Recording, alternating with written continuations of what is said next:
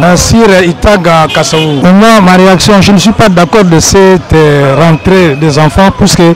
d'abord, euh, le programme national n'est pas achevé, hein, Parce que nous avons les,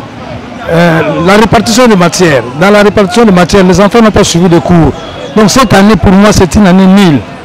Hein. Donc je ne suis pas d'accord. Une année blanche, oui, certainement, puisque les enfants n'ont pas suivi le cours. L'année n'est pas n'était pas encore achevé, puisque dans l'enseignement, nous avons 218 jours. Hein. Donc, euh, selon notre programme, le programme du Congo,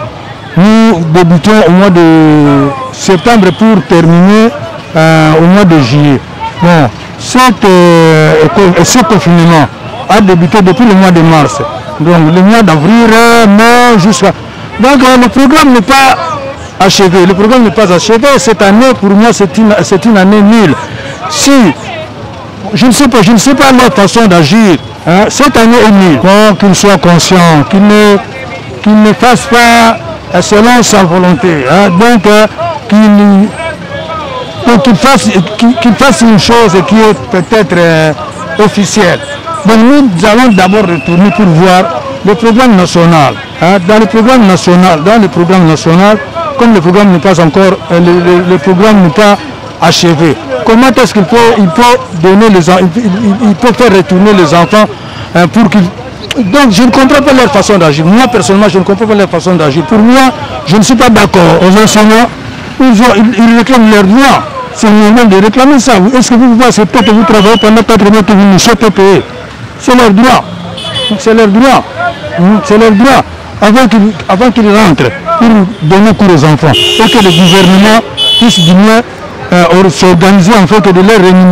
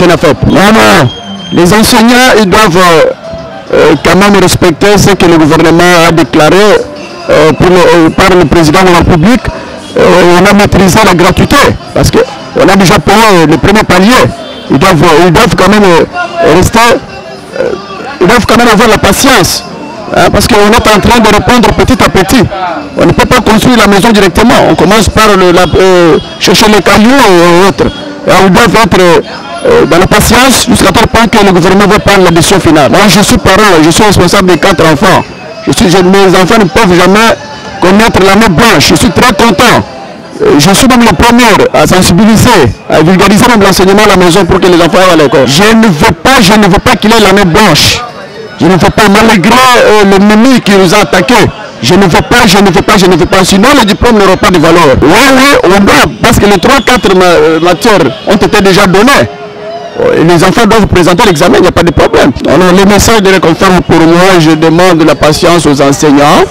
Ils doivent donner confiance au chef de l'État. Ils doivent donner confiance à l'accord entre le gouvernement et les autres institutions. En attendant, mais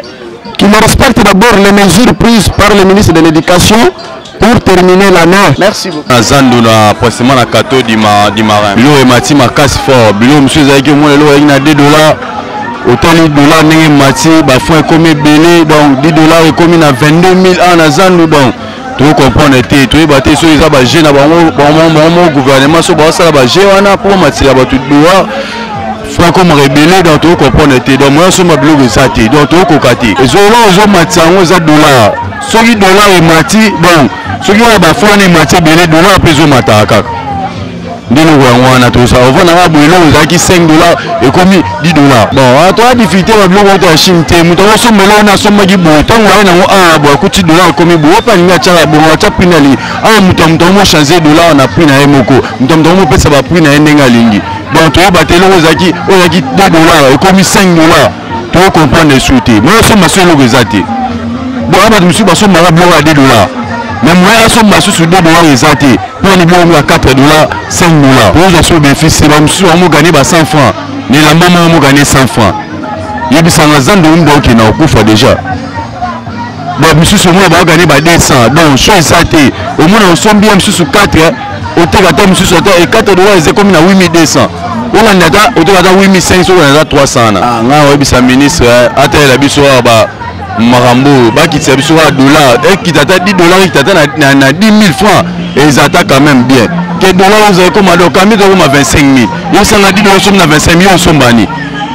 mpo ba 10 dollars bando nde obanga mpo awa soki yebisi moto nateka bodio 10 dollars akolinga na osomba te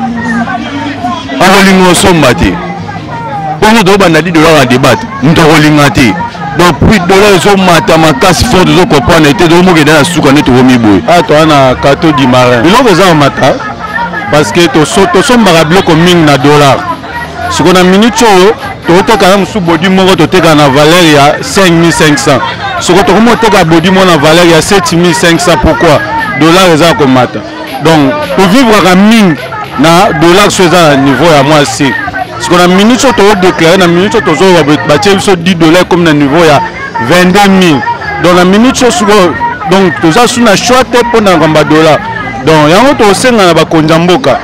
bosala bamarche kaka mpo na makambo na bino bamarche mpo na ya kokitisa nanu to ya mboka na biso mpo dola ya mboka na biso emataka ekitaka te mpabe yango wana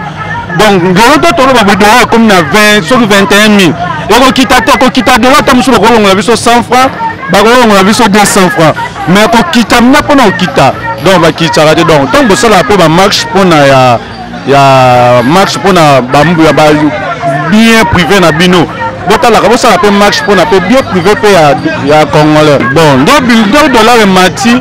tozozala su mpenza bénéfice mpenza lisu te donc tokomi mpenza koteka lisusu mpenza te yo momoni tozala ero nde tozosolde bomwa bato bazosomba bilama mai pour le moment bato bazosomba lisusu te donc omoni ka bakilian nde bazolekalekaleka kaka boye donc so oyebisi motu prix oyebisi motu 7500 motu ayebaki bodi na 5500 soki oyebisa motu bodi na 8000 ese kosombela asombela lisu te donc bakomi na bango koleka bakanisa comme soka biso nde tomatisi biloko oke biso tomatisi biloko te biso toteka nde na dollar donc dollar so eza na poids se biloko mpe ezala na se donc dollar amati donc biloko mpe ezomata donc ozomona ke tozo declare pona kaka dollar donc dollar ezalaka na prix ndenge ezalaka ata so watia biso ata dollar na 10 000 la ça va mais bango bamatisa biso sous dollar na niveau moko oyo ezalaka te donc toza mpenza koregrete eloko eza su te na mboka tofutelaka bandako tofutelesi Tuni oyo tofutelaka bandako, tosalaka baaktivite mosusu na mbongo soko ndenge eza wana donc autrement kosala lisusu eza lisusu bon tofutaka majorité na mboka na biso toyebi frai na biso tozwa yango na valeur te eloko tozwa na valeur na mboka na biso yaka dollar meme mokolo ndako ata meme soki opesa ye mbongo ya fra aboya na fra soki nde osombele dollar soko dollar yango okosombela moma yango na combien mpo na ozwa 10 dollar na 20 000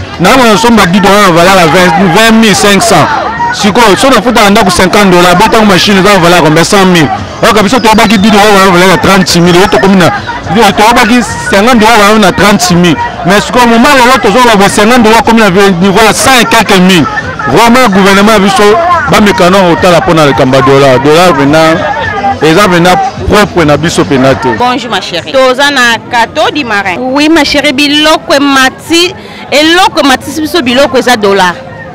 to ekomi na 21500 toteka te imagine to nasombi robe 10 dollar de gros 10 dollar 21500 client mpo aya apesa nga au moins ta 15 dollar beta 15 dollar na franc ba 30 000 na ndambo tozoteka te to eleki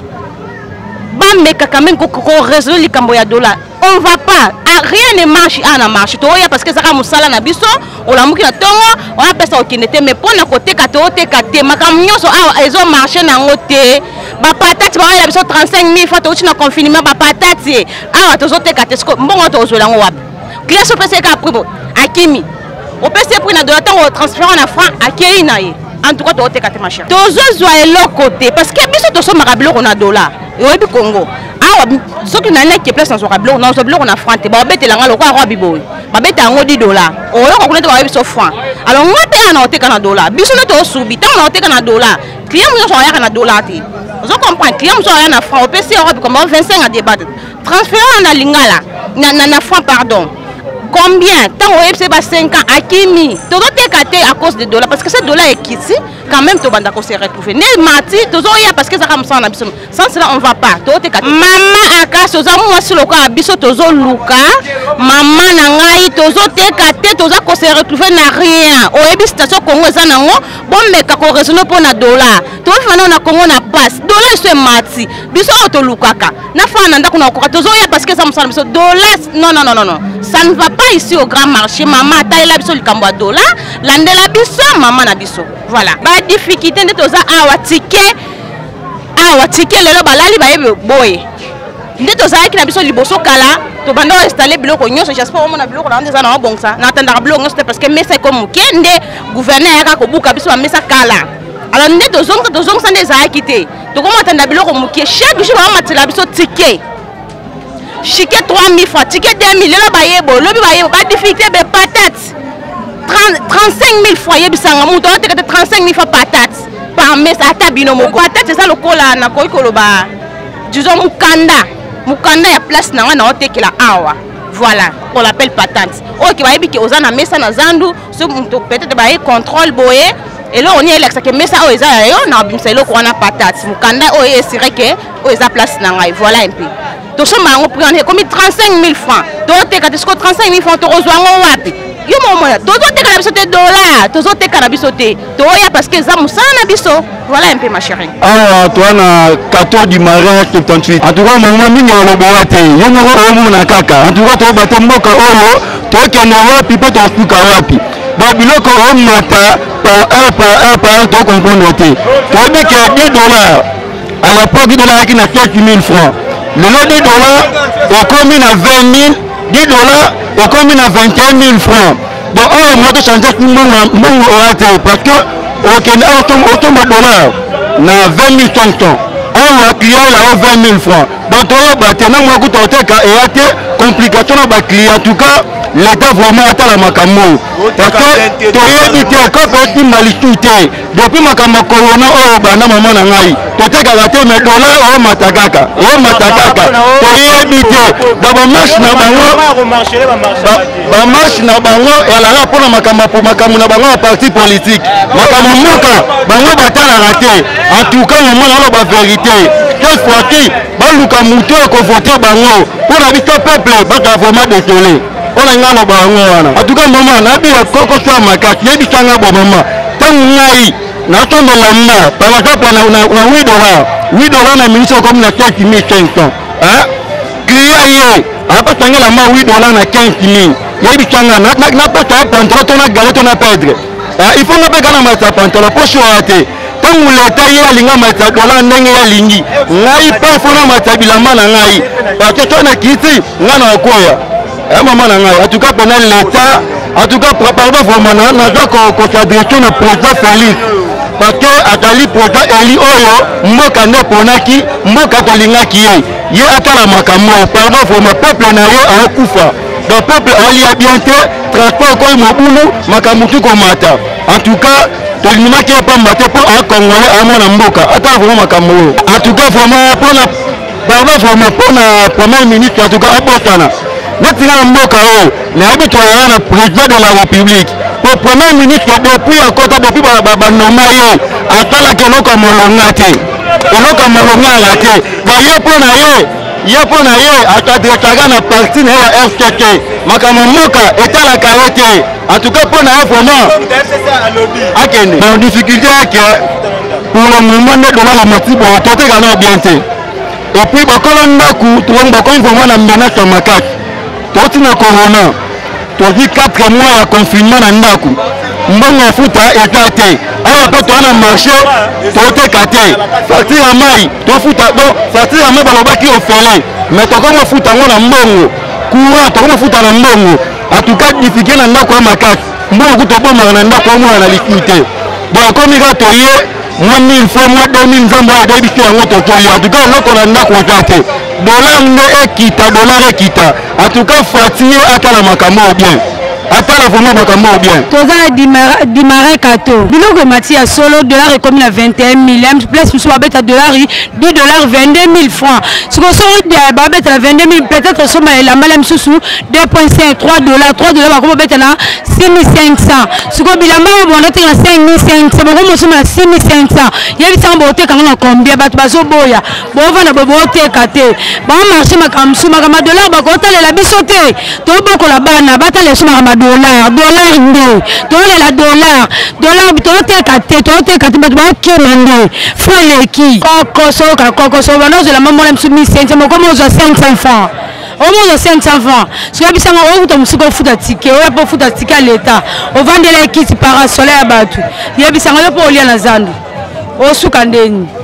eloko te yaya batala biso likambo ya dollar bakitisa nde dollar so bakiti dollar nde babetela biso biloko na dollari biso tosombela na ndenge ya franc tobetela dollar mpo ekokita bato mpe baluka basombela biso mpo bato bakomi kokima tokenda biso tombola toluka place ya 500 franc biso tokosomba biloko na dola bato bakenda bachine yebisanga dolar so eza mata babeta biso kaka na pro mata 3 dolar na miniti ekomi 6500 sikoyo elamba so oteka na 5500 bamacho na 6500 oteka combien ngaa nava na barumbu awa na bana bana bakumu tobimi na ndako mpo mobali batumbaki bazandu babiloko batumbaki pavio batumba babiloko nde toza bana zongi epai na biso na mombele yebisanga tosuka ndeni vi yango tokende ndeni kongo ebebi oyo eza su kongo te tobenga ngo kombo nini ah, nakoloba eloko nakoloba biso oza mposa dollar finance na biso yaka tolingi nde tozala bien tolingi tozala bien tocomprendre oyo eza kongo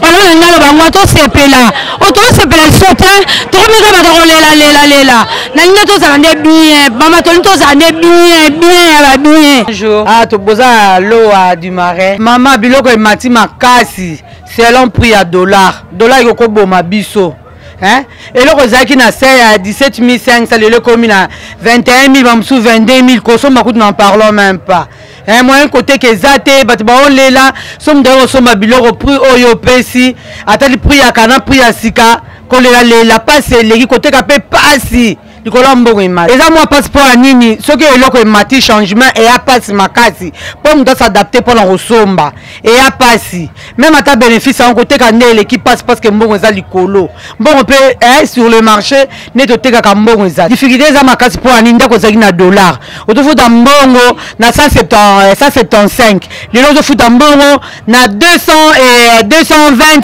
220 000 221000 so ozofuta ndako ya, ya 200 dollars ozofuta au moins 440 000 dollars hein? Et eh, 440 000 francs congolais c'est beaucoup na commerce nini yango okosan sorti okozwa okozwa mbongo ya kofuta ndako taxe eleki eleki makasi batema biso mpe ate sur baloyer loyer eza makasi oyo ozoteka biloko moke mbongo ya loyer eleki ebele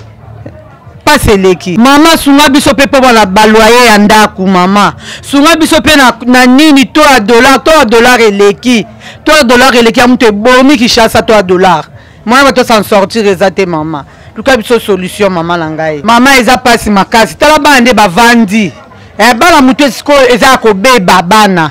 bana kotanga eza lisusu te bana bavandi na ndako bakomika bayokoli makambo ya site eya mpasi makasi basala makasi bana bazonga classe bana bazonga classe mpo bana mutu ezonga normal nde bana bazalaka bana bamesaka na congé ya deux mois mais congé ekomi presque soki six mois eleki makasi mpe na to oyo kozongisa bana classe eza mpasi minervale malgré tout ke eh, place mosusu bakofuta te na baekola leta bakofuta te mais baprivé bakofuta somo na ndofuta 100 dollar lelo akofuta combien eleki mpasi eye koleka makasi na biso baparent biso baparent na bango toyalia awa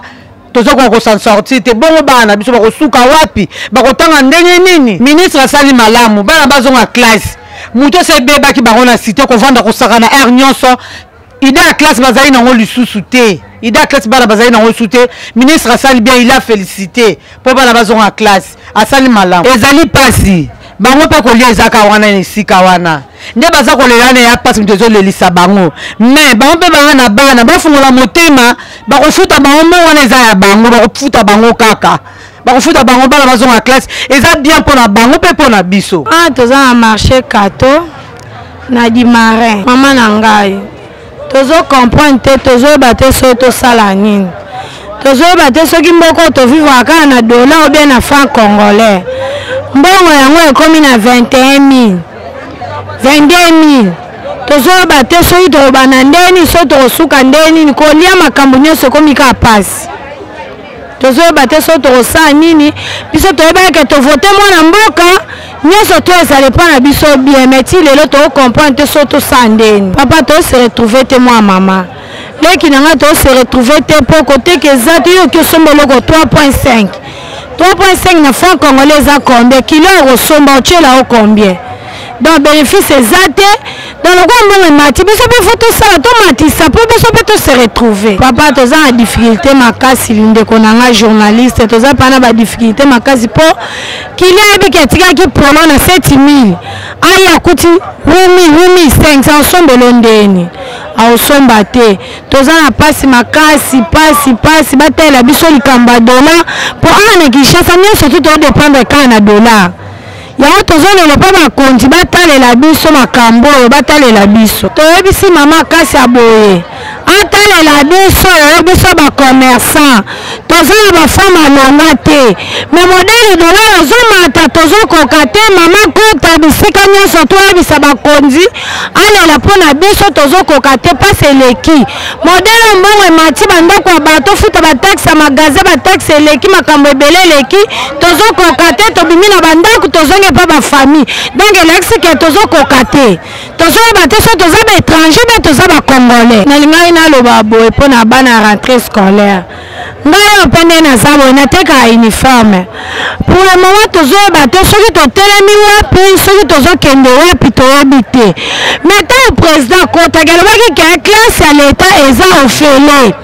yango baparent bakumbanaki ino ofele sikoyo moto andimaki eza na ofele ndenge nini afuta banseignant te Eh, tokotuna kaka bakonzi ya mboka ndenge bakofuta enseignant te sikoyo baparent bakosala rentre ndenge nini enseignant mpe aza na mposa ye mpe vivre afuta ndako ya bato ifo bafuta bango mpe bazwa kameme ya kosupporte bacharge mpo baana bango na bandako leta congolais azwa charge ya baenseignant mpo vi na biso ezala bakonzi ezala bapresident ezala banani bauta na ekole biso mpe toza na mposa bafuta banseigne mpo bana na biso batanga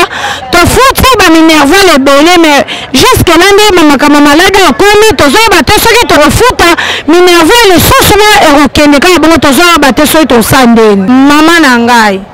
tokolinga bana batanga te ndenge nini oyebi ke nde touti na makambo maladi boye bana banonso ebele ebungi po bana bavandi temps mulayi po na ngai nakolinga bana bazonga classe babanda kotanga bafuta baenseignant tozonga ndenge ezalaki bana batanga po vie ya moko na biso eza classe soki mwana lelo atangi akosunga nga parent mais soki mwana aza na, na, na metie moko te na motu yango amoni bana bazobima bakuluna bamandia makambo ebele il faut bana bazonga classe toyebi to soki bakosala nde nini ye moto alandaka makambo ya classe alobaki ke bana bakozonga toyokaki le 3 toyoki lisusu le 15 tozoyeba te soki na un mois yango bana bakozonga ubie bana primaire ubie bana 6e secondaire toyebi te tozotala kaka leta mpo makambo nyonso eza kaka ezodependre na leta toyokaki bayebisaki biso na ekoli bakodeforte bakotya bakesi bapompe ye na ekole me ti sikoyo nani toyoki eloko moko te me nde balobi bana bazonga classe tozoyeba te bakokende na cash ne obe bakosala ndeni wana mpena kotana nde toyebi te eloko toloba boye mpo ya leta moto nyonso to asalaka mpo azwa lifuta Jamais musala ya pamba ezalaka. Ba enseignants baza na ba parents, baza na ba boti, baza na ba famille. Mutu nionso tu akolia na musala oyo asalaka. Ba konzi ba futa ba enseignants po bango bazo pesa bana na biso nionso nionso na mutu ezala na mayele. Il faut ba konzi bazwa solution ya ko futa bango po bana na biso pe bazwa mayele. Soki ba futi bango te mayele bana bakozwa wapi? po bango mpe baza bato bafutaka mpe bandako ya bato baza mpe na baparent baliaka kaka wana ifo bafuta bango mpo bana na biso mpe batanga mpo biso mpe baparent tofutaka bango toza na mposa bana na biso mpe batanga ya dola emati makasi biloko moya toteka ekomi mpasi koteka ekomi mapasi toteka na mpasi paraport na ndenge atoa dolar boye mpo nde toa boye dolar eza na ba 21000 10 dollars mpo biso kobeta na to ya kosomba kobeta na to ya koechange te tobeta na to ya kosomba dollar so client ye par exemple biso elamba 25 dollars mbala moko client kotuna yo na fond eza combien so bobeta kaki na fond ekomoda ba 50 quelque 1000 omoni ke eza mwa mpasi omoni koteka eza mpasi client ya biprix na yo nde toza kokoma liboso na kala tokoma pantalo ba 12500 ba 13000 eza lisusu te fo tobanda kokoma ba 16000 ba 17000 ba 18000 omeke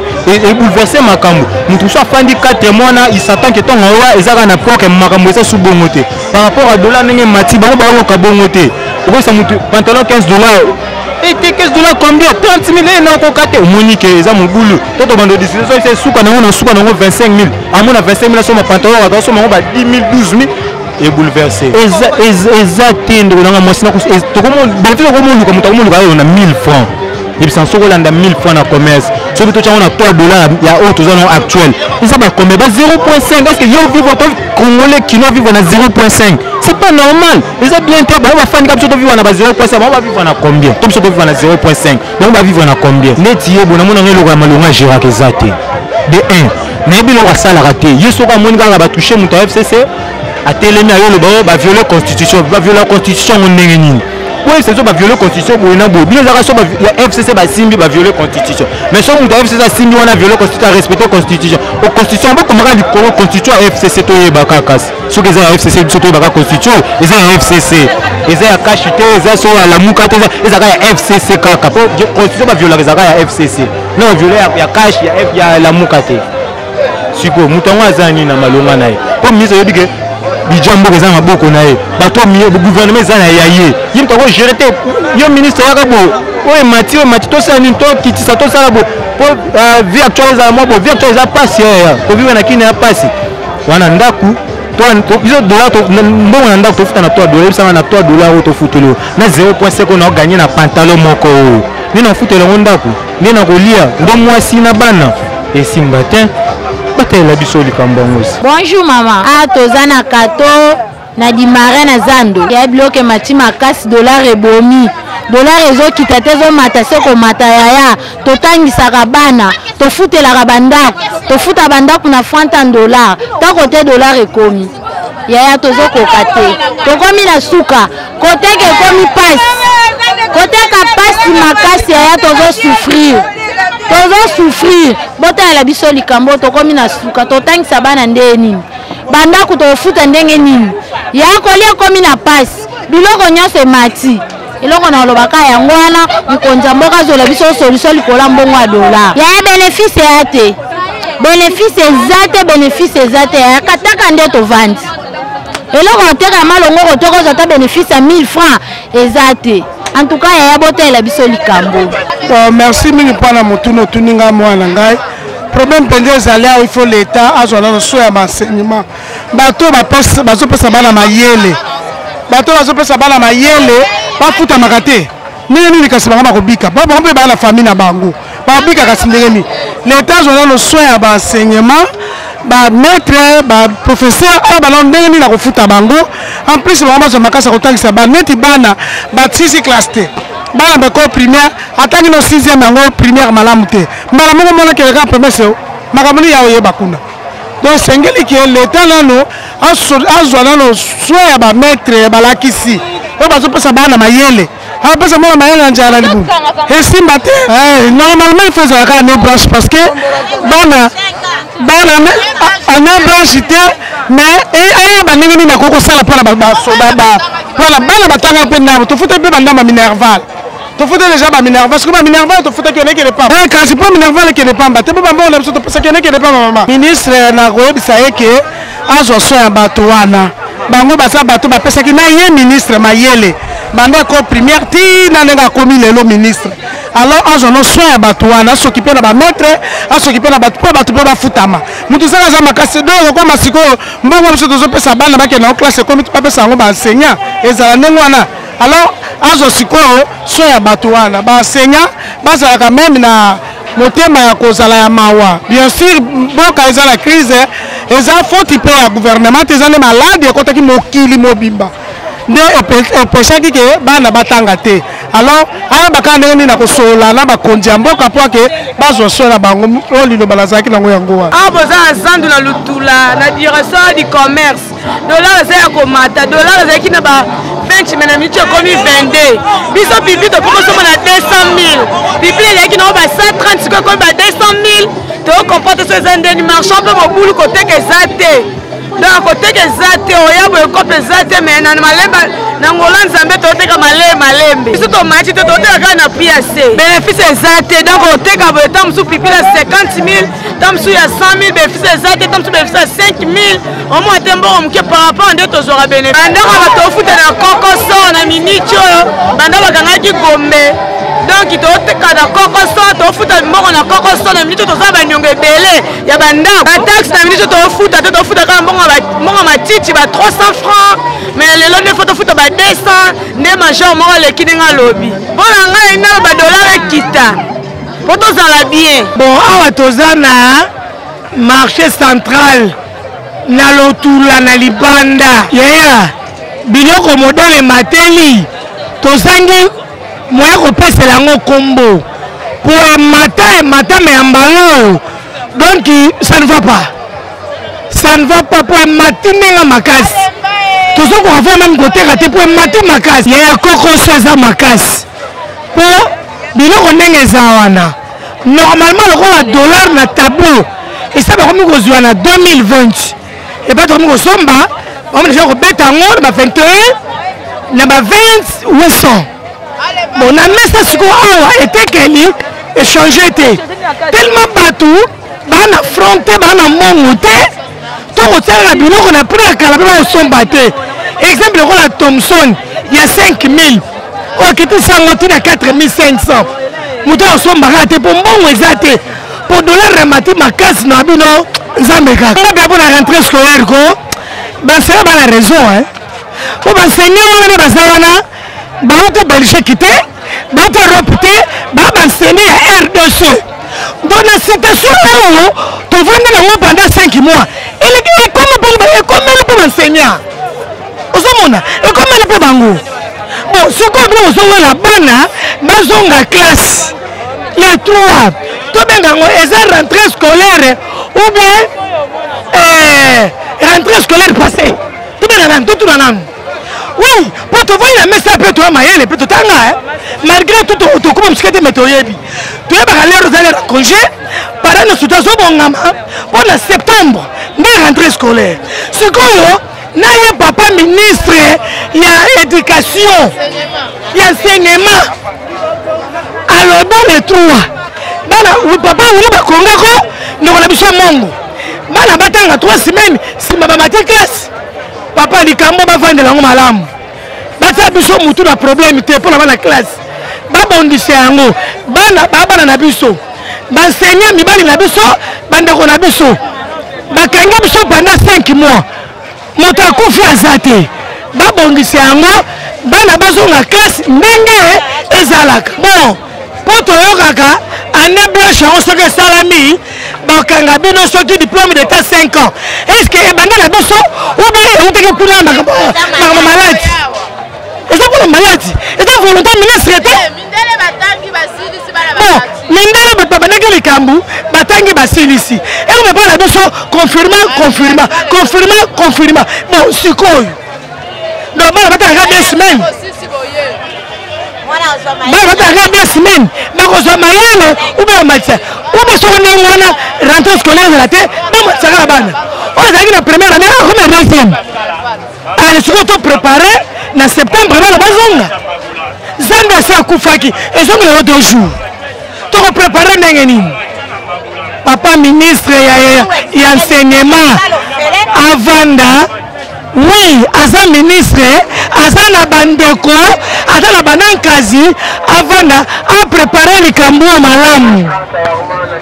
Soki na nsambe kuna esimbi te, akita na famille na ye, atuna bandeko na ye likambo oyo, nde baorepondre ye. Aya famille. Bonjour yaya. Ah toza na kato kato di marin. Yaya biloko eza mata makasi dollar likolo tokoka te topema bien te. toteka bien te topema bien te papa tozokoka te tozokoka te biloko eza omata bokiti ya biso dola tofuta ndako na to ya dola talaka nde bomatisi yango biso toza lokola bango te nde bazwaka bato biso totekaka todebriyaka bakitisa yaya tozoteka na pasi mama mona banda ntongo yo oloka malonga te yaya banda ntongo yo oloka malonga te bakitisa biso kaka dola ya tokoka te neti depo toyaki boye tovandi otala wana okende osomba eloko ngo na oteka na combien na ozwa ni donc tokokoka te bakitisa biso ka 3 dollar bakitisa ka bilo batransport omati transport 1000 fois tofanda 4 personne transport 1000 francs oye na zandu awa tike ya komata ata yo moko sikoyo oyebisaka koteka eza te ata yo moko ya ya dolari dolari ekita mama kasi atalela biso ka likambo ye moko katalela biso likambo biso toza na nsima na bango biso tolobani bonjour ndeko mwasi awa ah, toza na dimare na kato precisement mama na nga biloko eza ya komata makasi ta biso bapantalon oyo oh, tozwaka yango na valeur ya 3 dollar ekomi 8 dollar mpo toteka yango kombia mama tozosouffrir awa ah, tozokemba dollar eza likolo biloko nyonso emati sikoyo tokoteka ndenge nini mama ta biso mokonzi moko atela biso likambo oyo atela biso likambo ya dollar tozokoka te dolar oyo ezomonisa biso mpasi to ezokende bandako tofuta na dolar tokovivre ndeni biso na bana baklase tofuta na dolar tokosala ni leta tala biso likambo oyo mama tokoloba ni leta tala likambo oyo tokomi na suka tokomi wapi ka nde bino oyo toloka ape ah, kongo ekomi na suka batala biso likambo benefisi eza te mama tozosela tuve te bana kolia eza su malonga te dolar eza ya komata makasi mama batala biso kaka likambo ya dolar likambo ya dolar nde ezoboma biso koteka eza te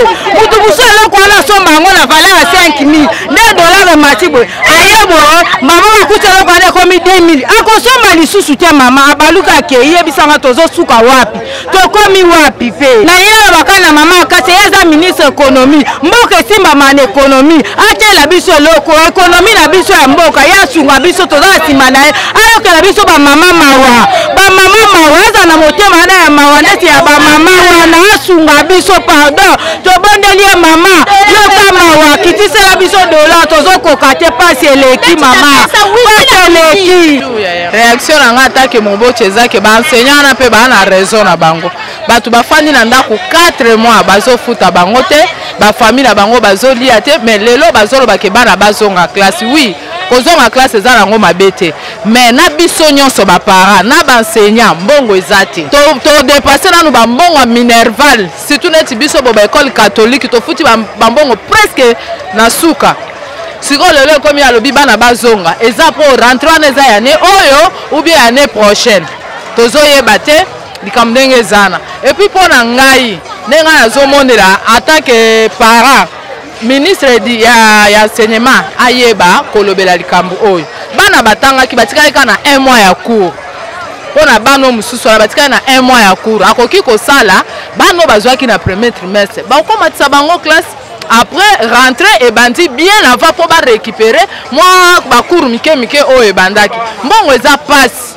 mbongo eza mpasi mpo to na minute oyo toyoka bana 6e primaire bakozonga 6e na baannée terminale epuis bana wana mosusu sor na bango ekozala ndenge nini soki bana wana bamati te bana bakotondatonda na bakati ya basale epoutant lelo oyo 11 lelo oyo nde bazoloba na bibana bazala ebele na bakati ya basale te mais situation eyeli biso bango moko mindele kuna bazali bana na bango bamati classe lelo mpe na congo ndenge toza ekole belge bana batangaki mpe bamati classe ebongo biso bana ba mosusu bazwa kaka bamoyen ya premier trimestre bana bazwaki bapourcentage moko oyo eza eleve basunga biso bana bamata likambo akoloba na bango mpenza eza te baa na raison bango mpe baza balesaka mpe bato baza mpe na bana nakoki kopesa bango tort te faute eza ya guvernema ye moko azwa soin na bango ayeba ndenge akoyokana na bango mpo akoyokana lelo na baenseignant oyo baza ya leta bongo ya prive bakoyokana ndenge nini donc il faut basolola kaka eza likambo koi monde mobimba il faut bayeba koarrange likambo oyo mpo motu nyonso ayeba kosa sorti